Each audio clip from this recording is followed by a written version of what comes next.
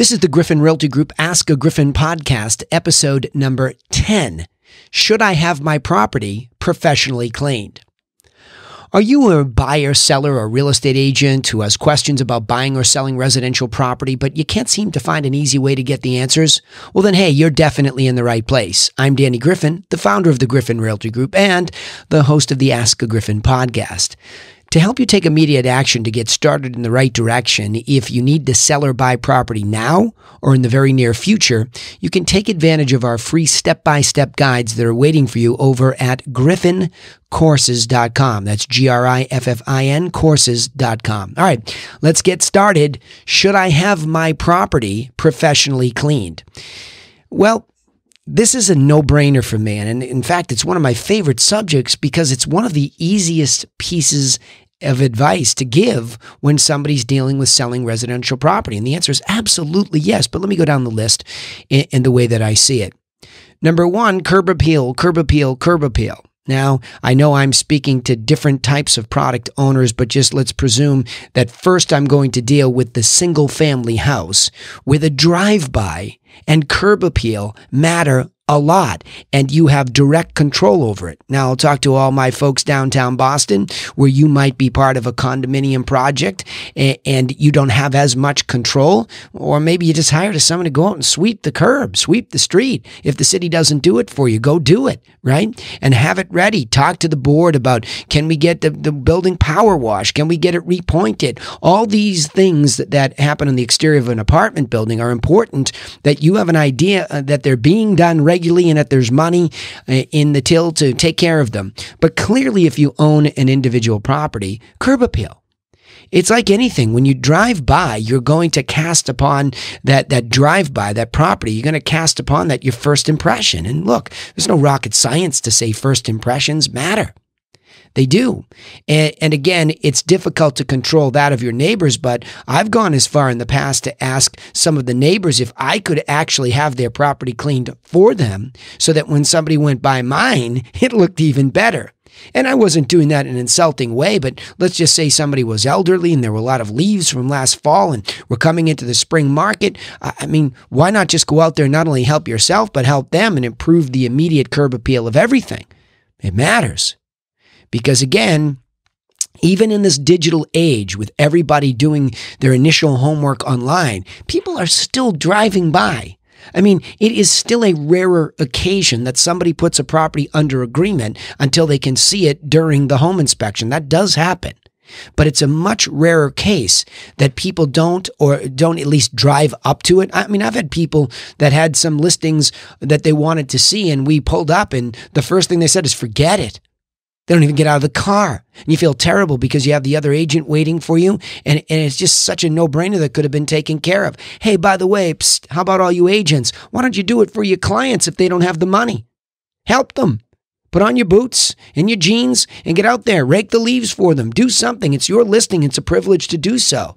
Do whatever it takes to clean outside. However, my best advice is always best practices. Hire a professional landscaper period.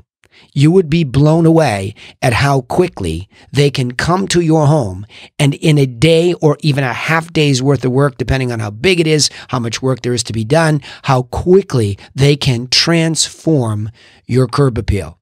And I mean transform it. Now, a lot of people don't think of that as cleaning, but that's exactly what it is. You're cleaning the outside to put a fresh cut on the grass, to, to edge the beds in. And I'm not even talking about plantings and trees and this. I'm talking about cleaning up the outside. It's very easy to do.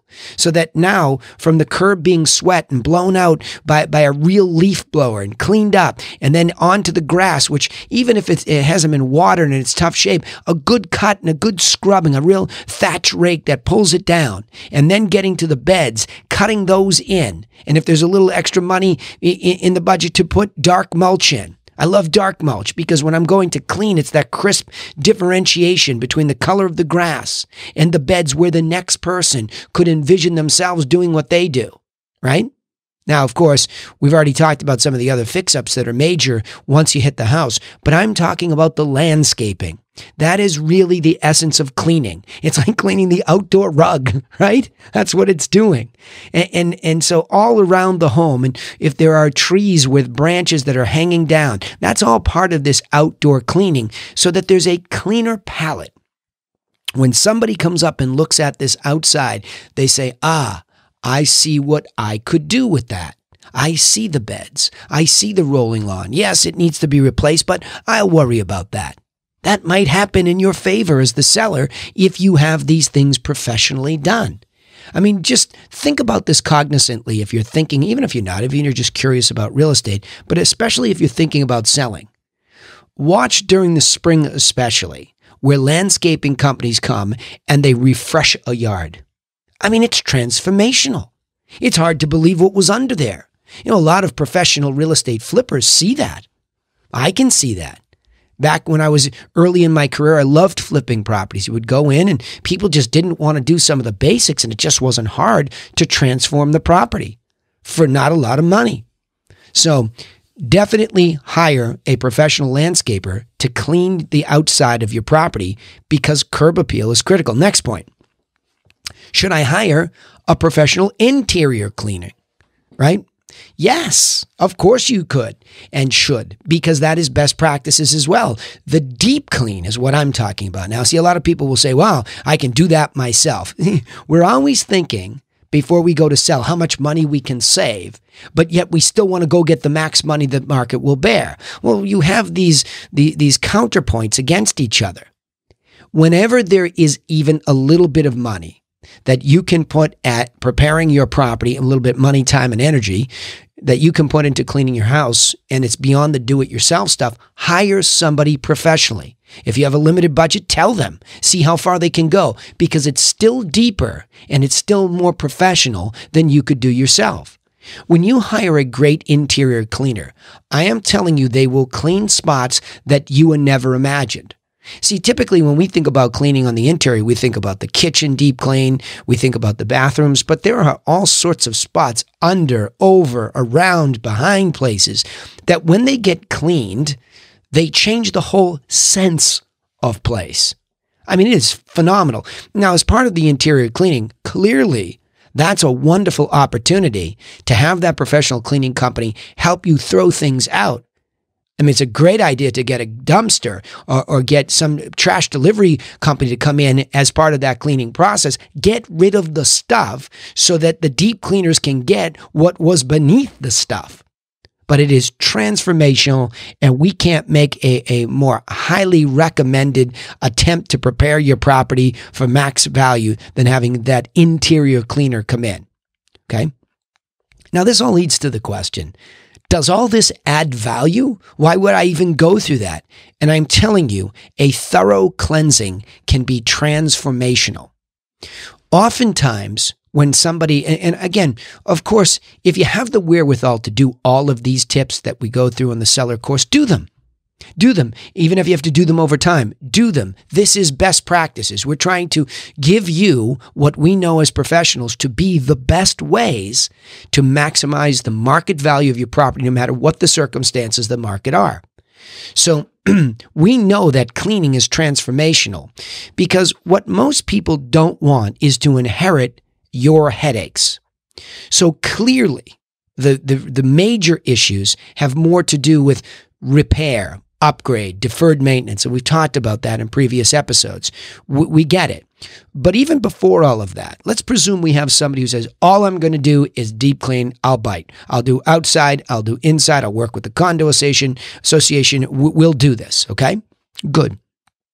Now, the idea is, is that as there is less personal property in there. And I mean stuff. Look at, let's all admit it, to a certain extent, we all hoard or save too much stuff. It fills all the little nooks and crannies of even a small place. Get rid of that stuff that is not going with you in the next move, that doesn't matter and is not critical. Why? Because what you're doing is distorting this picture that you're asking a buyer to look at physically. It's almost like walking through, kinesthetically walking through a painting from the outside to the inside to the rooms. They're walking through it and they're experiencing it. And what they're feeling matters. A real estate sale is a majorly emotional, sensory sale. How do I feel in this property? Do I feel like it's a home? Do I feel like it could be my home? See, there's the emotional attachment that has to happen. Somebody needs to be able to see what they could do. And that's why I say, don't go all crazy trying to be perfectly prepared and guessing what the buyers want. Clean matters. Now, of course, if you can do some of the deferred maintenance, you can go back to an episode where we talk about what we believe you should do with neutrality when you de- you determine what you're going to rehab other than the major systems. Stay neutral, right? Don't try to be creative. That's not the right time to do so. But cleaning has a similar effect to any of that anyway. I mean, even if somebody doesn't like the color of the walls, have the walls washed. When's the last time you washed down the walls? When's the last time that, that you actually had the carpets really deep cleaned with a machine, right? When was the last time you really deep cleansed the floors and even waxed them? Uh, if that was the, the case, or the tiles with special tile cleaners. See what I'm saying? There's always that more professional level we can go because at the end of it, we are trying to restore the condition as close to a newer feeling as possible. And this can even be done w- with countertops that are old, bathroom fixtures that are old. You can make them look wonderful with some sense of cleaning. Okay. And when somebody comes in and they see that, even if they want to do the deferred maintenance, even if you're giving them a better price because you're passing on the deferred maintenance to them, they still want to be able to see themselves going in and having to do little to nothing and just live. See, we, we lose that sense of, oh, I just don't want to live on somebody else's stuff. And clean changes that. See what I'm saying? Very simple. These concepts are simple. Now, as somebody who's done this for thousands of hours and been in over thousands of houses with people, I watch and witness this actually happening. See, you're drawing somebody in to see if they can look around and say, this works for me. And the more distractions they have, and the more they think they'll have to do, and the less they think you care, your value's just going down and down and down to the point many will say, forget it. It's just too much for me. What a shame when this is so easy. So let me go back through these couple of points here. Should I have my my property professionally cleaned? Yes, and and here's the first question I get. Well, should I have a landscaper clean the outside? Yes, because the curb appeal is so critical. We might not even get them in the house. So if again we haven't cleaned from literally the curb through the grass if there is any up to the the beds and, all around the house, trim the trees, trim the bushes. If we haven't done what's already there, well, you're killing your value. People will drive right by and it just won't look inviting. But let's presume we get that done. Great. Should I next hire a prof- professional interior cleaner? Why wouldn't I just do it myself? Because you have no idea what a deep, deep clean is until a real pro does it. It's stuff that you wouldn't even think to go looking at. They do it in a very rhythmic, routine way because they've done it and they know where the dust and the dirt and all the uglies hide and they get them for you. And it changes ultimately, okay? with the last question here, does it add value? Absolutely. It changes the whole perception that a buyer has of the property, and you start to creep up on that value ladder. Okay, let me summarize it this way The final sale price of a property has much to do with the sensory perception of the buyer, where clean equals peace of mind. And that translates into a higher sense of monetary value. Hey, remember, you can take immediate action to get started in the right direction if you need to sell or buy property right now or in the near future by getting our free step by step guides that are waiting for you at griffincourses.com. That's G R I F F I N courses.com. Get over there and uh, get started, and we'll give you a free plan that includes all these tips that we give you. One nice booklet. Also, don't forget to subscribe to this podcast on iTunes, Spotify, or wherever you listen so that you'll miss out on these real estate insights each time we upload an episode. We also post all of these episodes on our social media channels. So remember to turn on the notifications for Griffin Realty Group and you won't miss the reminders. Hey, we'd also appreciate it if you would share this content with other people who are thinking about selling or buying and they get the help they need.